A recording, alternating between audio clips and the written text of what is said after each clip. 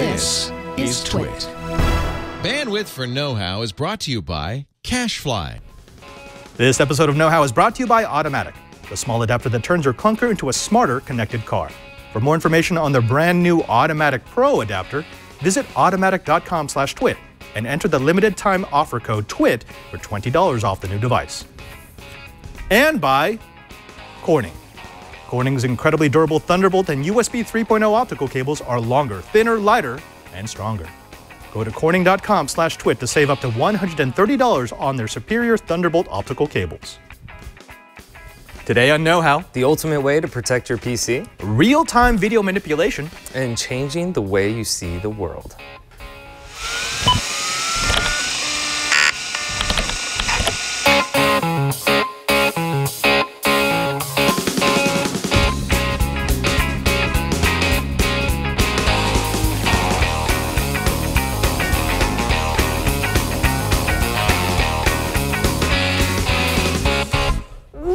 To Know How. It's the Twitch show where we build, bend, break, and upgrade. I'm Father Robert Ballas I'm Bryan Burnett. And for the next however many minutes it takes, we're going to show you some of the things that we've been geeking out with so you can take them home and geek out on your own. Bryan, Padre. it's so good to be back here in Radio mm. Corner in the Brick House. I know, right? It's like nothing ever changed. It's all the same. It- oh, oh. except for the black abyss in front of mm, us. we now we now exist in the black hole.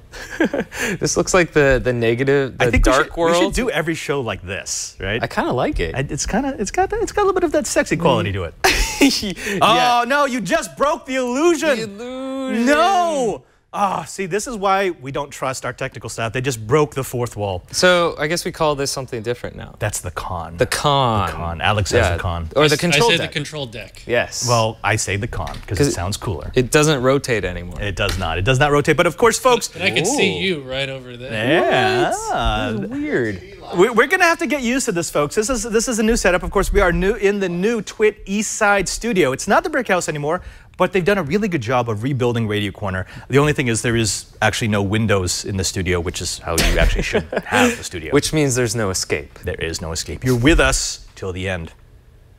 We're all going down with this ship. Yeah. yeah. Speaking of the ship, we've got a little something special for our audience because we promised them some uh, coverage from the Intel Developer Forum. Right. Twit, Twit went to. We covered it. Yeah, we covered it. I didn't get to go. And no, you unfortunately you were a little bit busy. Apparently, only three of us can do the screensavers. It's like Yeah. me, Anthony, and then emergency Alex. Well, I told them I'd be willing to direct the screensavers if they were willing to edit everything I mess right, up. right. If the, that was if they wanted to like let the building burn or something like Yeah, that. yeah, yeah. No, but it, folks, we're not burning down buildings. Instead, we're going to give you exactly what you want. Not only do we have coverage from IDF, actually Mm-hmm. two of my favorite bits from IDF, but we also might have a little something something in the line of an unboxing. A little unboxing, huh? Yeah. Something that I may have been waiting for for quite a while that somebody else got when they were just happened to be working on a show with you. Could be, possibly. I don't know. I guess we'll find out. We'll won't find we? out. But okay, Bryan, let me ask you something. Hmm. How do you protect your computer? Protect it. Protect it. Uh, I keep it away from my dog most of the time. Okay, no, I'm not talking about protecting it physically. Oh, I'm talking about protecting it from attacks because I Ah. mean, it gets kind of scary. And and I'm not. Yes. It's no longer just a Windows thing. It's it it affects everyone. I mean, if Right. you're on Linux, if you're on OS 10, if you're on Windows. At some point, you have to think about, well, what happens when someone comes gunning for me? What happens when malware gets installed on my box? Yeah, well, there, there's a few things that you kind of you learn over the years. Like you don't go to certain websites or try and download pirated software. Chances are, you know, you're going to get a virus that way. Uh, most often, what I do is I, I try and just the basics, like don't go to sketchy websites. Use ad blockers when necessary. Um, what else? I have Malwarebytes installed on my machines just in case. I also have, I just use the regular Windows security stuff. So like I've never really had any issues. Well, unfortunately, we can't really say that anymore because malware creators are getting very good about this because Yeah. they don't want you to think you have any issues. They Don't would click on pop-ups They that would say, like, their you stuff have a to virus. Be, exactly. Well, they would love to have their software running in the background forever. That's Right. that's ideally their goal because that's where they get the most utility. Uh, now we all we all understand we all understand that there are you know low risk, medium risk, and high risk behaviors. But what if I told you that instead of trying to figure out what's the good part of the web, what's the bad part of the web, whether or not this program is okay to install, you could just do everything you want and be completely risk-free from infection. Uh, I like the sound of that, but Yeah. I don't believe it's possible. Well, it is possible, especially if you come from a little company called Bromium. Endpoint isolation is no laughing matter to system admins. In fact, at home, in my office, I actually have a machine, my Synology box, that runs several containers running my browsers because I'm so worried about those browsers getting owned and then having visibility into my network. Well, that setup is not very practical for most people. So instead, if you're running an enterprise, why not speak to the folks at Bromium because they've got a way to use micro VMs to protect your network. I'm speaking with Simon Crosby. Simon, what is a micro VM? A micro VM is an isolation construct built using Intel VT and other security features on CPU like SGX to isolate a single task on the end user operating system.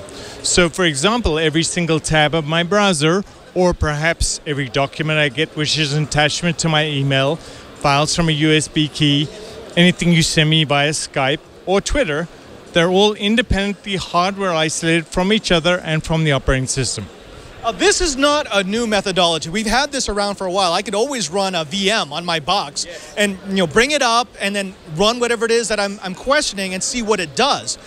But the issue has been resources. I don't want to sit there and wait three minutes for a VM to spin up before I can actually get into the file. What have you done to make that less of a, of a drag on my time? Oh, that's a great question. So for me, a, a micro VM is 15 milliseconds. Okay, so on that, and that's on a Core i3 or i5 or i7 CPU.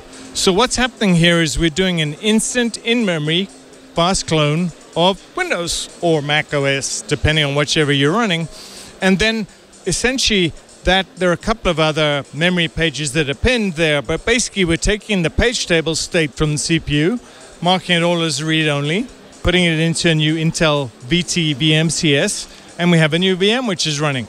And then as it runs, it's going to execute copy on write. And what that means is that if it changes any memory locations in user mode or in the kernel, those are going to be changed in its own memory context. So we'll copy stuff in. The hypervisor does this, and uh, and then it changes its own state. So I'll give you an analogy for that. If I put you in the top of a very tall building and say, "Can you change the city skyline?" but I give you a dry erase pen, you can scribble on the windows. Okay, so that's copy on write. You're changing things, but not really. And so these things execute a task, one task only. It might be a browser renderer, it could be a Word document or something, PDF doc. And there are amazing benefits that accrue. First of all, because there's only one task in the micro VM, we get to be able to analyze its behavior in excruciating detail. We record every packet it sends or receives, every touch on memory, on the virtual file system, on, on the registry. And um, whether we know that it's good or bad, we do this.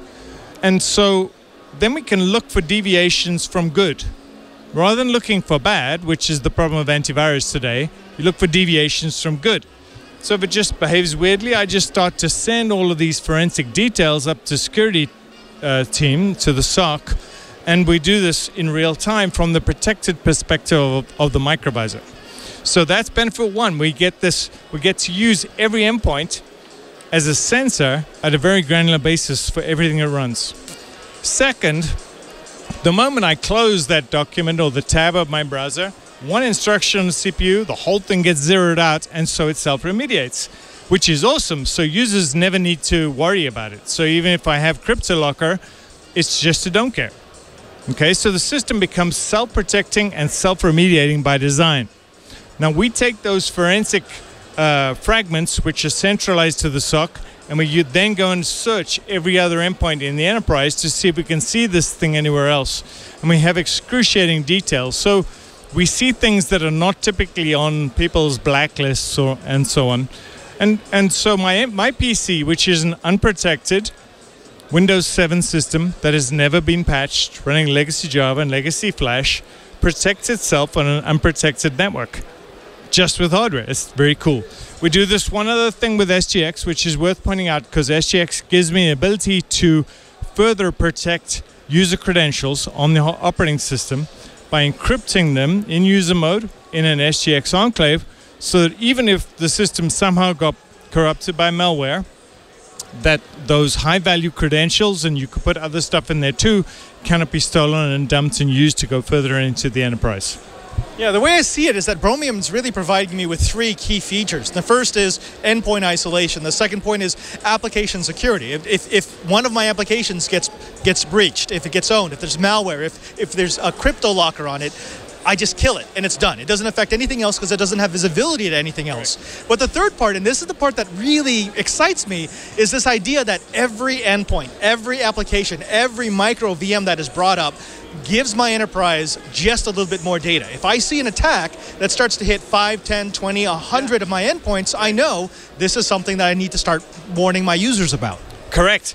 The, and and this these detailed forensics are fabulous because in general the security team is wondering who's attacking them and malware changes so quickly it, it lasts today less than a minute and so we get these detailed forensics which allow us to go and look for signs of execution elsewhere in the enterprise environment which are extraordinarily invar- valuable and that automates the entire kill chain analysis and remediation response on the part of the enterprise so you don't have people sifting through a essentially a haystack of alerts.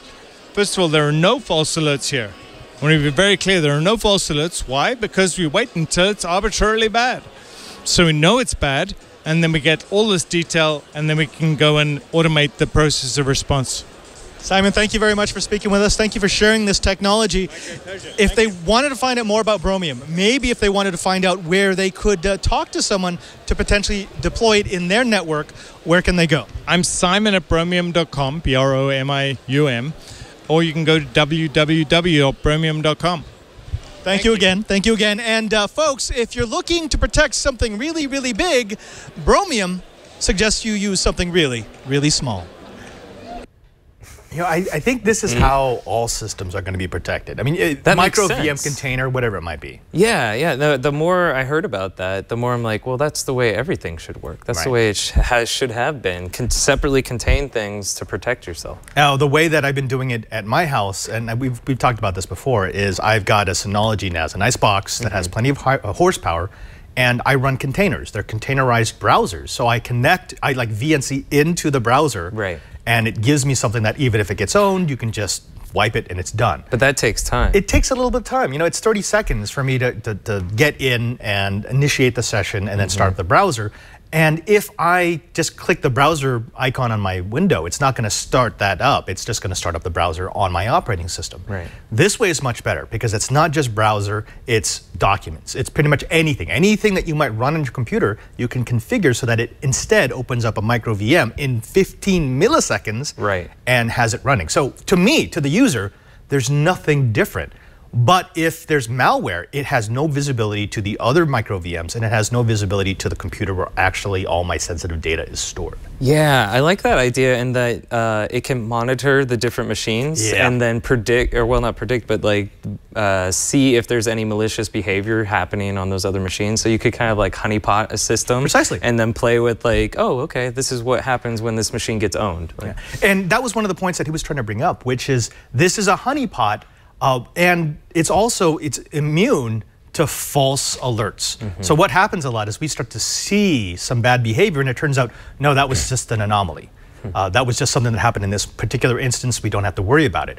What he was saying is, if you have this deployed across your enterprise, let's say it's on 500 different computers, and the same instance that started up in micro VMs on 30 computers start doing the same bad behavior, you go, this is not an anomaly that's designed to do that. We know that software is no good. Well, then I'm thinking back to uh, the Sony hack, and I'm sure they would have loved to have something like this, you know, where uh, they could have detected the, the intrusion, but I, that was such a such Yeah. a bad ownage job. But that's pretty neat. I like that bromium. And, and you know, the sort of the network troll person on the side of me kind of wants to use this just to deliberately start up things that I know are bad. Right? Like, like you, you've always had a suspicion about a certain program or something like that, so you spin up one of these VMs and then check it out. Yeah. which I can already do because I've got I've got VM infrastructure, so it's easy for me to spin up. But mm-hmm. You know, like I said, the difference between spinning up in a minute to three minutes or spinning up in 15 milliseconds, Yeah, instantly. it, it doesn't sound like a lot, but it really is because if you can make it seamless to the user, they're more likely to use it. Yeah. I mean, for me, the container thing, that makes sense. But when I tried to show some of my housemates how to use it, none of them are using it. I, I checked the logs. Like a few of them use it the first week, and then they all said, that's too much trouble. Well, and uh, I actually got an email recently. I just this whole discussion made me think about it. Is somebody got um, crypto locked? yeah, I got that one. You know, and it's it's I feel devastating. bad. Like I don't know what to tell you Yeah, because I'm like, at that uh, point it's you it's have over. to pay. Yeah. If you want it back, you have to pay. There's just, I mean, there's a couple of ways to try to break the encryption, but uh, most of them are, you know, no bueno. So if you could say get crypto locked and go, oh, all right, well, close that window. delete. Yeah, Who cares? you didn't get anything. Much yeah. better. Much better. Very cool. Oh, we're going to be getting back to that. I, I actually asked the Bromium folks if we could do a in-studio demo for TWiET, which will be really, really nice. I, it, it'll take them some time to respond, but um, I'd love to show people how the technology actually works in a real-world environment like a studio. Yeah, that's pretty clever. I like to play around with that. Yeah. Hey, Bryan. Next up, uh, you know what I want to do? I want to do a little bit of unboxing. Oh, yeah. Is it is it a present for me? No. What? No. Oh. Well, I don't know. All mine. All it mine. They're all mine.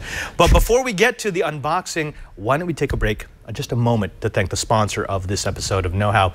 Hey, Bryan. You know what I like? What's that? Efficiency. Yeah. Yeah. You're you're an efficient kind of guy. I'm an efficient kind of guy. Eh, Now, uh, the, when we first got a Prius, like 12 years ago, my family got a Prius, Mm-hmm. and uh, you know, it was, I actually kind of like the styling because it's geeky. I like being geeky. But the thing that really got me was that little screen. Yes. Because it was like a video game. You wanted to set the high score for, for miles per gallon. Absolutely. No, uh, I had never driven a Prius before until more recently. One of our producers Mm-hmm. here has one. And uh, that little shuttle screen on the front of it, just depicting all the energy and like how much battery you have left and stuff, I was kind of fascinated by it. It, it's like self-shaming because even if you're not competing with anybody else, it's like, oh man, I just ate my fuel. I, I better slow down so I can I can get that back up there. I, uh, I did a drive with my father from Las Vegas to San Francisco, and I got a uh, an average of 57 miles per gallon. He was so ticked because he couldn't do it. Right. I mean, it took us 14 hours because I was going right. really slow, but. And you had a backwind. I, yeah, I had a out, backwind, but it was, you know, it's kind of fun. Oh, totally. I, I don't know. I'm a geek for data. So the more information I have available, the, the happier I am. Precisely. And that's what newer cars give us. Newer cars give us an abundance of sensors and the ability to see exactly what's going on, where we're putting our resources, where the energy is going. But what if I told you, Bryan, that there was a way for you to get that same sort of gamification, that same sort of data, that same sort of sensor capability in your old clunker? Uh, yeah, I have a 2000 Nissan Frontier, and it's pretty basic, like pretty simple, but it has OB1. No, no. Or OB2, I mean. This is this is yeah the onboard data port. We're going to go ahead and use that with something called automatic. Now, the idea behind automatic is very simple. You take a device that looks like this. It's just a little bit of a dongle that plugs into that onboard data port and allows you to gather computer directly from the controller area network in your car. What that means is that everything that's connected from your from your fuel system to all of the various electronics that run inside your vehicle can be accessed by this. Now you can do all the standard stuff that you would expect from an onboard data port device. You can reset alarms when you get those alerts on your dashboard. You can find that the error codes or if there's something wrong with your engine or the electrical system. But my favorite part is that it helps you with your efficiency. Now, we've got a, a couple of uh, screens here from a trip that I did that show you what I got with my automatic. Now, this, this was one of my trips from Las Vegas, and it tracks everything. What how long did you drive? How many miles did you drive? What kind of fuel efficiency did you get? What, how much did you pay for that particular trip? But not only that, it also has sensors that will allow it to use your, your phone to call in case you get into a crash. It will, it will give you this little score, which, I mean, I, you really, really want to improve that. I, I kept aiming for 100%. Not bad. Yeah, and oh, by the way, the key to that is, of course, staying below 70 miles per gallon, 70 miles per hour. They were really, really serious when they said that. As you can see, I have some bad days, but I also have good days. This is the whole idea of having an automatic. It helps you to figure out how you drive and what's the better way to drive. And guess what? They just launched their new Automatic Pro with a new unlimited 3G car adapter that has no monthly fees or subscription, but always lets you connect to your car. That 3G connectivity lets you know when your vehicle is parked at any time and lets you track your vehicle even when you're not with it. that works with IFTTT for endless customization. You can connect your car to the rest of your life, and you can easily file your business expenses with popular apps, like Concur or Expensify basically allowing your car to tell your expense program how much did you drive for your business. You can even link your car to a Nest thermostat or an Amazon Echo. Imagine, Alexa, where did I park my car? And it tells you exactly where it is. Now, Automatic works on nearly every car made after 1996. It takes just minutes to connect with your car, and uh, it uses your iPhone or your Android device via Bluetooth. Plus, it even integrates with Apple Watch and Pebble. Now, here's what we want you to do we want you to get driving better with Automatic. Automatic Pro is normally $129.95, but when you use our exclusive offer code TWIT, you'll save $20. Visit automatic.com slash twit. That's automatic.com slash twit for more information. And remember to use the offer code TWIT to save $20 off the regular purchase price. Again, that's automatic.com slash twit. And we thank Automatic for their support of Know How. Pretty cool. I, I you know what? I, I kind of want to play. I kind of want to steal this. Yeah. I like mine, but I, you know this idea of being always connected. Uh, that's kind of cool. Well, and I just want to know what those error codes I keep getting are. The little maintenance required. That's the other thing I would do. I would use yours to inject error codes into your car, just to you know. You would do for that, giggles. wouldn't you? I would. I'd actually. still ignore it. Okay, Bryan. So um, I have a little something back here that we're going to be pulling out in just a bit. But first, I, I want to ask you something. what? Do you know what's the best way, speaking of efficiency, to measure the efficiency of, say, a studio or your house or your data center? Uh, phew, just keep an eye on the uh, smart meter, I guess. Maybe, maybe. But what if I told you there was an even better way? A, a way to use a bit of technology to find out where you are literally leaking energy out into the world. Oh, yeah, I'd want to check that out. Yeah, well, we're going to do that with a company called FLIR. We had a chance to speak with uh, a bigwig over at FLIR back at Interdrone in Las Vegas.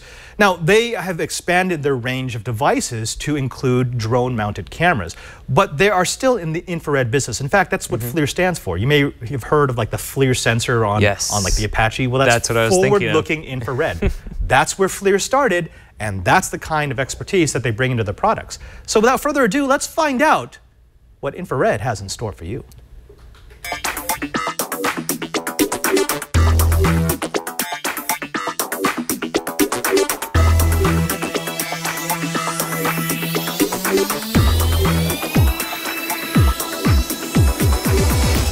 If we're going to speak about the next level of drones, one of the things that we have to discuss is the technology behind infrared. Infrared is one of the hot topics here at Interdrone 2015 in Las Vegas, Nevada, because it allows our machines to see things that well, visible light just can't do. I'm standing next to Jeff Frank from FLIR. He's the senior vice president who's going to tell us what makes their technology so good. Thank you very much for talking to us. Hi, Robert. Thank you. Now, FLIR has, well, you got the name. If you're talking about infrared, it's in it's actually in your name, forward-looking infrared. You've built the systems, you built the sensors that give us those quality pictures in the IR spectrum.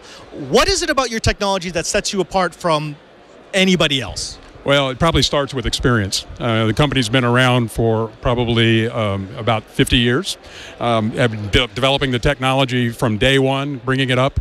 Um, we control the entire vertical, uh, every aspect of the manufacture of these cameras, from the sensors, to the very lowest level part of the sensor, all the way up through camera systems and very high-end gimbaled systems for airborne platforms and that sort of thing. So we really have got all of the technologies covered in the company. One of the interesting applications, the use cases for drones recently has been the use in agriculture and industrial. And again, they've been crying out for more infrared sensor capability because you, you can see far more data in the non-visible spectrum than you can in the visible. What are the applications that you've heard of from people visiting your, your booth? Well, you know, we've been doing, we've been very active in the drone business for about a year now in terms of, you know, th- this level. And it's interesting because it overlays a lot of the business that we do otherwise um, and, and then expands those businesses. So if you look at the kind of business that we've been in for a long time building inspection, law enforcement, search and rescue, firefighting, just long lists of applications like that, um, uh, moisture detection.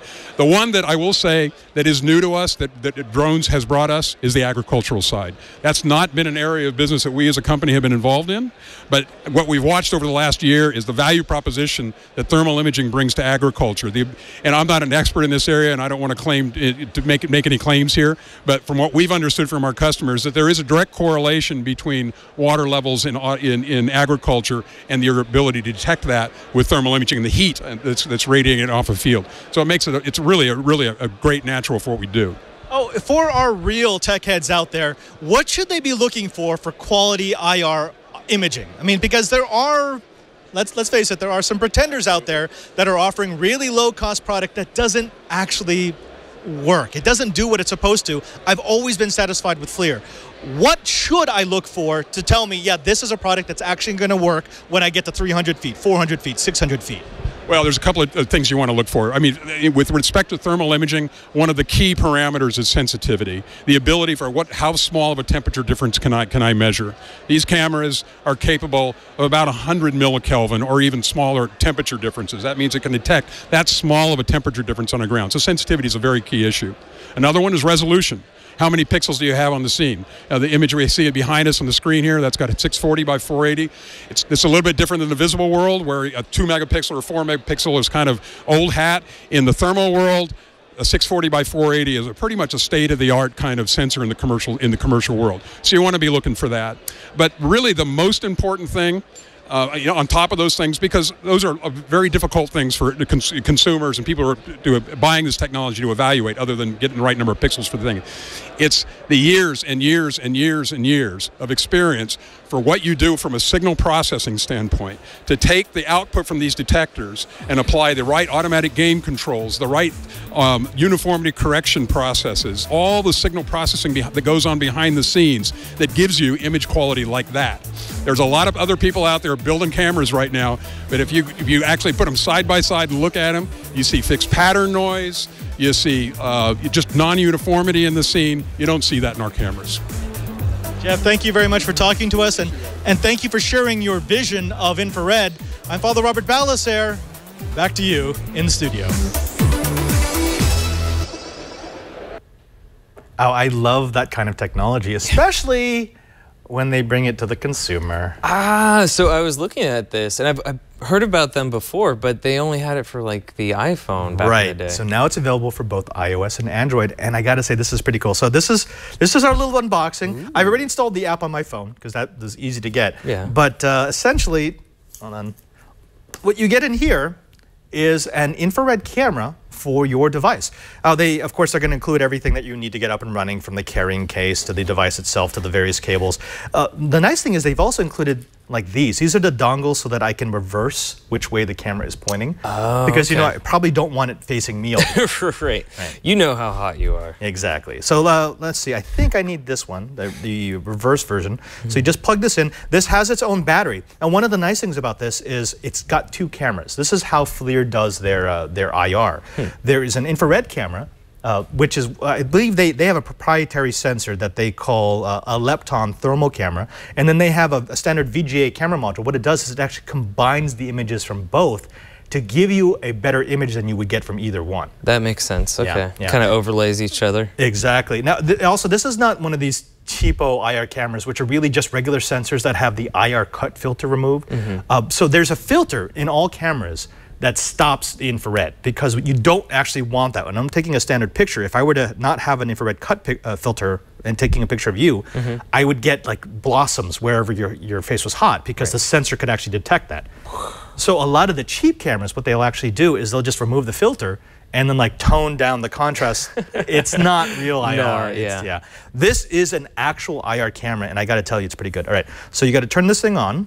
Next, so, oh, you know, I probably should have opened this up last night and charged it. But no, you know what? Hey, we're flying by the seat of our pants. That's what we do. Yeah. Oh, and it, look, it automatically kicks off the app. Nice. Oh, come on, come on. Uh, it might come be on. working. There we go. no heat. There we go. No, it's got to it's got to start up. Uh, okay. I just realized we probably need a really uh, like a better way to actually. Uh, oh, well, show this off. Show show the camera. Oh, there we go. Ooh. All right. So unlike a, like it, so it's combining the image from the regular camera because I shouldn't be able to see that. Right. Because that is, but oh, heat blossom, heat blossom. Actually, here, c- go to Yeah, go po- to. point it uh, at Bryan. oh, hey Bryan. Whoa. Whoa. Yeah, and this allows you to do things like I can change the modes if I wanted to see a bit more. Oh, there we go. predator Now vision. That's predator vision. so right do they? there. Yeah, they should have sound effects for predator vision at this part. It's got an internal uh, lithium polymer battery, so it doesn't drain the battery in your phone, which is what you want. Oh, there's see, there's Alex in this in this little con. But this is this is an ideal device for you to use anytime you're you're looking to measure efficiency, or actually, you know, where I've used it uh, in when I'm growing my, my plants. Oh, yeah. This actually tells me if it's thirsty, if it needs water, because the heat changes if it has. If it has water, if it has sufficient water, it tends to stay cool. Right. If you see heat blossoms, it means that there's not enough water coming to the system and it's not evaporating, which doesn't cool down the plant. Oh, that's fascinating. So what I can tell, Bryan, is that you need more water. especially in the face region. Yeah. Exactly. Need to rehydrate. now, this can also do panoramas and time lapses. I'm really, I really want to see what that looks like. That's neat. I want to put this up on the roof of our house in San Francisco and uh, just like see how the, the environment changes throughout the day. Yeah. I mean, this this is an honest to goodness IR camera. This is not a cheapie. This is not a pretend IR camera. This is the company that originated IR cameras making an IR camera. It's amazing that they can fit all that into this little module here, but um, how much does it cost? Okay, so you know it's about 230. Actually, Alex, we've got a, a link there, and there are two different versions. There's the iOS version and there's the Android version. The iOS version is slightly more expensive, uh, but just go ahead and choose the one that you want. It does seem like a lot for something that might you know might be sort of a novelty thing, but again. If you do anything that requires design or engineering, or if you're looking to, you know, see a different way of, of collecting information from the world, this is a really easy way to get into it. Remember, the same sensor that they have mounted on quadcopter cameras runs about 1500, so this is actually a deal. No, this is really cool. But you know, the first thing I would use it for is finding my dog at night. Like, where are you? Are you hiding in the corner? I could see a little heat spot. Actually, hold on. Let's let's show the chat room what they actually look like. Oh yeah, all right. They've never seen themselves. Actually, I wonder if I just messed it up by just pulling it. Unplugging it like that. Okay, will it will it recover? Oh, it recovers. Sweet. So, chat room. See, hold on. You're down right there. where are we? See, you guys are hot. You're just really, Right here, really guys. hot. That's you. Wow, that's awesome. The screen is upside down, Padre. Oh, well, Oh, no. yeah, they get hmm. the idea. No, that's right. I think it is. Bryan was pointing to the top screen Oh, on your. I, I could, I should do there that you then. go. That's better. now we are going to do a thorough uh, review of this. It's just an unboxing. This is me kind of showing off something new that we got that I really, really like.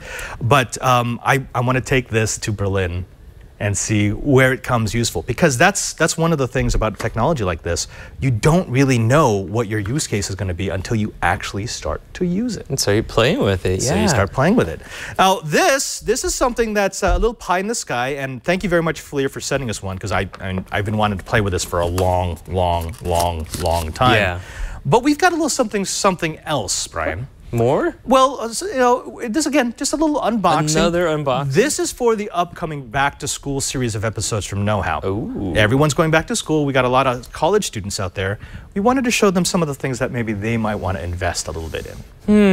Hmm. Well, I could probably glean a little. Nope. informa- don't, Oh, don't look, look at the, box. shipping. Don't look at the shipping label. Oh, okay. Now, uh, this actually was delivered to the brick house uh, Oh. because I forgot to tell them that we had moved. Yeah, we have, like, a thankfully really cheesy so- sign on the front. Someone was over there and Oh. like accepted the box. So thank you very much. Whoever did that in, in the studio, you guys are awesome. I love you.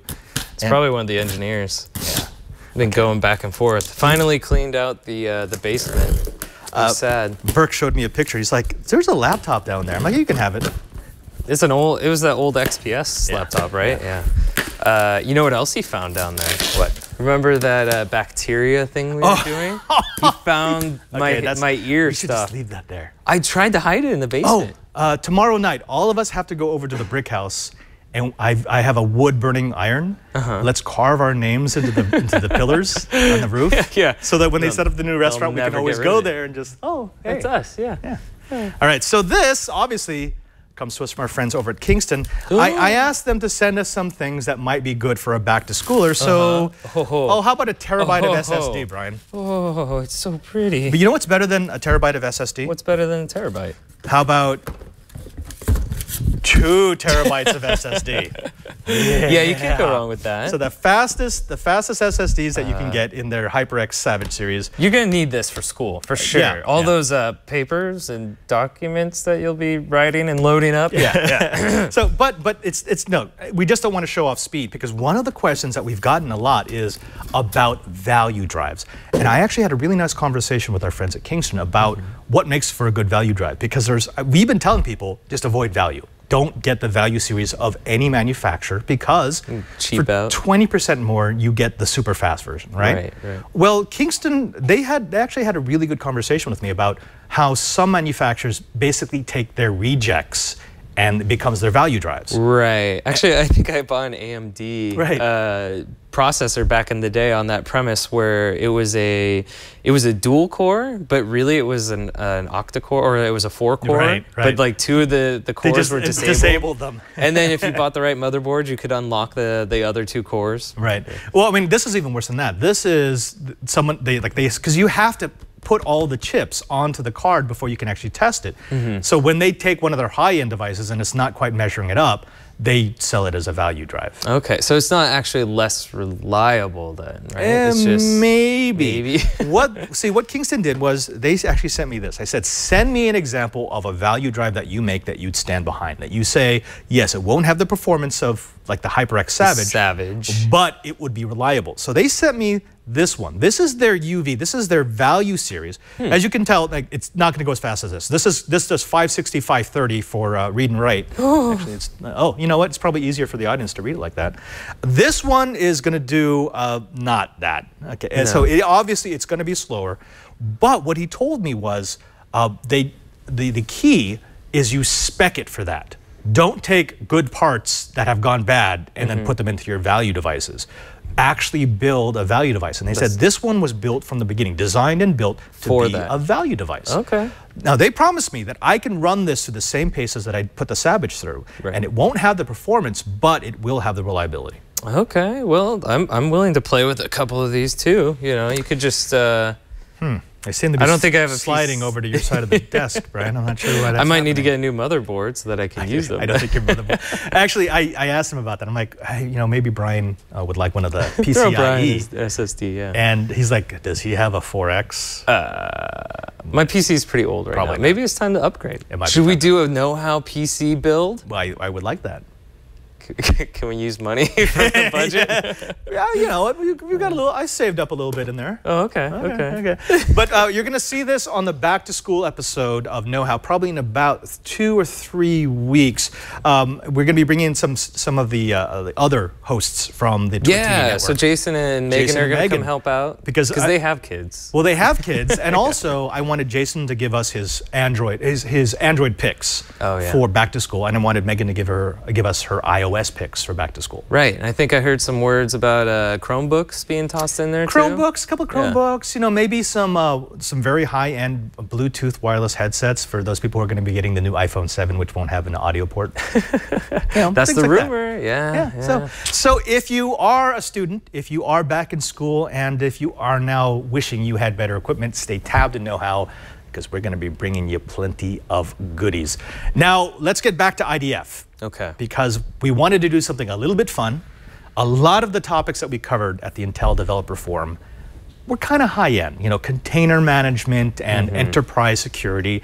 Not particularly riveting unless you're really into that stuff. I mean, I know Bromium- that Bromium stuff was pretty cool. that was pretty cool. That was the best of the best. But what if I told you that you can't trust anything you see on video anymore? what?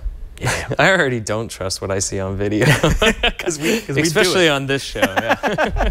Well, no, because there was a technology at IDF that utilizes some of the uh, the new built-in hooks inside of Intel Skylake processors to do real-time video manipulation. that sounds pretty cool. I mean, this is this is the full-on max headrooms type stuff where you can take a real feed and it's processed in real time. So it looks like a straight camera feed, but you can do touch-ups, you can change faces. It's it's actually pretty impressive. uh, I really want to see that. Do we ha- do we have some B-roll? we do, but before we get there, let's take a moment to thank another sponsor of Know How. Hey, Bryan, you know what I uh, I don't like? Uh, what the? quite a lot of things. A lot of things. Yeah, I hate a lot of things. Especially when I, I mess up or something. No, no, no. I, I always love you when you mess up. man, Yeah, 'cause it's more genuine it's that way, it's right? bro love, man. Yeah. It's bro love. Boom, Boom. like that. no, but I hate noise in my production area. Oh, absolutely. Yeah. In fact, Karsten has that little Starscape projector, and it drives me crazy because makes that me fan insane. is so loud. right. Well, you know what else I don't like is heat. Yeah. You could use the FLIR to find Exactly. It's like, oh, hey, Carson, did you know that you've got more heat in this room than anybody else, everybody else combined? Yeah. Well, you, you can't do much about your office mates. Yeah. But yeah. you can do stuff about the equipment you use. Yes, you can. And what you can do specifically is get it away from you. Now, folks, we remember the old style way of doing this. What you would do is you would take a, a USB cable and maybe put something in another room. Well, unfortunately, we're getting higher and higher speeds and they're less tolerant of those long runs. What we need is a next generation way to move our peripherals, to move those really noisy bits and pieces out of our production area. And we're going to do it with Corning. Now, you may have heard of Corning because they are the masters of fiber optics, and that's the technology that they use inside of this. This is their extension Thunderbolt cable. It's a super high speed device that allows you to move your peripherals without losing any speed. Corning can greatly improve your audio video workflow with these strong, durable, and far reaching Thunderbolt and USB 3.0 fiber optic cables. That means that whether you're into high end videography or photography, audio production, or just computing, their optical cables will allow you to build a workspace that sounds the way that you want, that is as fast as you need it to be, that's not bound by the regular, well, restrictions of USB 3 and Thunderbolt cables. These USB 3.0 and Thunderbolt cables are incredibly strong and flexible. You couldn't do this with typical fiber optics. You'd snap it. But because of a process that Corning has developed, not only are they durable, not only are they nearly crush proof, we've jumped around on these, but you can bend them at nearly 90 degrees and it will not shatter that fiber, which means your bits keep flowing. They've got uh, these runs of up to 60 meters, that's 200 feet for Thunderbolt, and 50 meters, that's 165 feet for USB 3. That makes it easy for you to move those noisy, space consuming, heat generating devices out of your workspace. They're also hot swappable, and you can daisy chain up to six Thunderbolt devices. You can bend or walk on these, and you're not going to break them because, again, it's Corning. Now, Universal Audio is a company that does professional audio work. They need a quiet environment. It's not just a luxury. They can't do their work if they don't have absolute quiet. So, how do they connect all the peripherals, all the devices that they need to be able to do that work? Well, they use Corning. It gives them award winning audio isolation. And, folks, if a company that depends, their livelihood is based on quality, on throughput, and on quiet, I think you can trust them too. Instead of investing in multiple extenders, adapters, and cables, turn to Corning to establish the connection you need with one simple long length cable. These products are available at all major electronics and professional AV retailers, including Apple stores, Amazon, B&H, and more. Now, again, these cables are longer, thinner, lighter, and stronger. Go to corning.com slash twit to save up to $130 on Thunderbolt optical cables. This promotion is valid until August 31st or while supplies last, whichever occurs first. Just go to corning.com slash twit. That's corning.com slash twit to save on their unbeatable Thunderbolt cables. And we thank Corning for their support of Know How. All right, Bryan, you ready for the fun? Yes. Okay, uh, I need to preface this video to say that we needed the real-time alteration to be obvious because unfortunately when it's done right you don't really notice that's the Okay. thing i mean That's how good it is. that's how good it is so if you if you actually set the settings properly it will just look like really good video and you won't know it's being modified so we might have had a little bit of fun with the settings Oh, okay. So you actually helped demo this. I did. Oh, Uh, okay. so, hey, folks, if you believe everything you see on the videos, maybe you should take a look at this. Video conferencing can be useful, and yes, it can even add some production to your workflow. But it also adds the dimension of your face. Your face needs to be ready to present, and sometimes we just don't have the time for that. Wouldn't it be nice if there was a way to move a couple of sliders, push a couple of buttons, and suddenly, boom, you're beautiful. That's exactly what we have here at the Intel booth, and that's why I'm speaking with Mayaresh, who's going to show how this application can help you put your face on. Mayaresh, what am I looking at? So uh, right over here, this is uh, using the small NUC over here, NUC device, which uses the sixth generation core. Uh, and then uh, basically you try and push a few sliders so that you can choose a profile for every person uh, that you want to beautify. Uh, and I can I can show you a few few outputs over here. Maybe someone can act as a as a person to demo. And let's see. So you get over here and uh, maybe it's not looking nice on me but if you want to turn on the red lips okay what do you do you just push the slider on and you see red lips turn it on and off how about how about you want to enlarge your eyes? Here you go. Zombie look. You can you can turn this off again. And now uh, the, th- the third section over here is basically changing the skin uh, skin tone. And this is where you call smoothing where you can change the skin uh, smoothness. And if you look if I turn it on and off it basically uh, plays with my skin. And this is the foundation where I can change to a green Shrek look and turn it back off.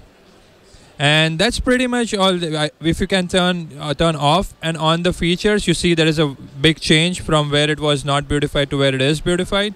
That's pretty much how face beautification looks on an Intel 6th gen core uh, and future generation platforms. Uh, what I love about this is it's not just facial detection because we've seen facial detection programs in the past, but this needs to actually be able to look for individual features within a face. It needs to know where the lips are. It needs to know where the mouth is, where the nose are, where how big the eyes should be. That's uh, that's going to take some pretty interesting math. What exactly went into programming this app? So, so what it takes is first, uh, you, when you get a frame, you need to apply a face detection algorithm followed by landmark detection. And the landmark detection is the thing which actually tells you what is the eyes, where are the nose, where is the lips, and th- those landmarks are more are, are the key to basically changing each of the features because the lips red you would need to know where your lips are. And then you apply the lip red on on it so that you have the landmarks in the right place. Oh, I know that uh, the RealSense 3D camera also has the ability to do depth perception. So, you, for example, you could say only take the first five feet and then disregard all the information behind, which means I'd be able to, to blot out all of the background. Is there any uh, hope of maybe including that in a future version of the app? Uh, so so yes, uh, RealSense uh, can can remove the background for sure. Uh, you you can you can select the range from which you, you select your foreground, and you have a face which uh, in that foreground which would be beautified, and you can get rid of the background and replace it using uh, using a still image or using a motion a motion video. What all, all this can be done using using RealSense camera. Yes. Mayaresh, this is absolutely fantastic. Now, uh, is this is this available? Could they download this and play with it right now? So, so right now, this is more. Uh, th- these features are available on Intel 6th Gen Core, uh, uh, and any any of the OEMs or ISVs could uh, could basically g- any of the app developers could actually use use this and integrate into their app. You, you everything is running on the GPU, so you could even have your own other software filters on top of it, uh, and and have more additional features. So uh, basically, you any app developers can get this feature right now. Thank you very much for your time. Thank you for sharing this. This is this is one of the more fun spots that we've done in the show so far. Uh, if they wanted to find out more information about you, more information about your division, more information about Intel and what Intel is doing to help developers of apps like this, where should they go? So uh, you can you can take my card. You can contact me. Uh, most probably, the first thing we need to do is uh, have have have the company contact with the AE, which is an application engineer inside Intel, uh, and you you would probably need to sign a non-disclosure agreement uh, for that. Uh, and then once once you have that in place, this this uh, this code over here can be uh, can be acted as a as a prototype. You could get this code, and you can you can build your own app based using the software reference code. IRS, thank you very much. And uh, folks, remember, technology is great, but sometimes you just want to look pretty. that was nightmare so fuel. frightening. It is a little It bit. was nightmare fuel. But remember, we and we prefaced the video by saying we deliberately messed with the settings. We, Oh, yeah, we yeah. wanted to look obvious that there was something being happening. But but It here's was the, very a little obvious. yeah. a, a little bit. But you know, we've got Toad Sloth in the chat room who is asking, okay, but why? You know, it looked cool, but why? Mm-hmm. And the point is, if you do it right, no one will know that it's being used. Yeah. And uh, you know, I've seen. I mean, this is kind of like the the very advanced Snapchat filters that they have, But for video. But for video, yeah. And it was it was right. It wasn't no lag. It was real time. Like that was pretty cool. Now, I got a briefing of using the same technology because remember, this is not just fancy software. This is built into the Skylake processor. So that is now part of Intel's CPU lineup. The, the processing for that, it, it, happens without having to bog down the CPU because that's all built in. It's, it's, and what you can do with it, let's say you combine it with an Intel Real, RealSense camera. Uh -huh. You can now eliminate your background and put you into a realistic setting. And it will do things like shading. So like if you lean back, if there's a virtual virtual object, your shadow will actually fall on that Whoa, object. That is really cool. Yeah, and, and I mean, you really do blur the line of, well, what's real and what's not. On YouTube, even a really well done green screen, you can tell that's a green screen. Imagine not being able to know whether or not that image, the video that you're seeing, the live video that you're seeing, right. is real or if it's being heavily processed. That is crazy. I've seen uh, a company who's done something similar kind of to this where they have, um, it's the bed of a car. So it has the structure of a car and then they can put whatever car they yeah. want onto it.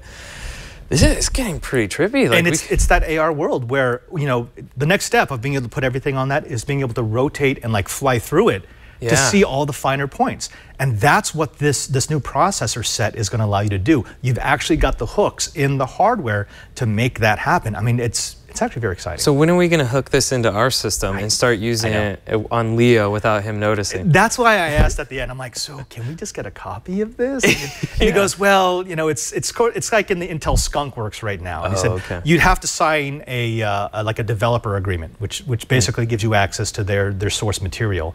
Um, but I'd love to put this on like our gaming PC, and don't tell Leo. Just start processing him, and just like make his eyes slowly get bigger. And that yeah, that video of you with the makeup there, that was a little scary. Yeah, yeah. yeah. but ah! you can see this. This is the clown version, but we did this where I I could realistically change my skin tone and you could not tell that that wasn't my actual skin tone. Right, because it's moving with you. It's moving it's exactly. Shaded. It doesn't look like something that's been blocked off. Like I was, I was doing this, trying to screw it up, and it, it totally got it. In fact, when I put my hand in front of it, it, it, looked it as if my hand was passing in front of my face. It did look like I was interrupting a filter. Wow. So finally, we could do this show where you don't have to use this face. Well, I'm thinking finally they could get two stand ins and just put our faces on them, and they could just run Know How even when we're not here.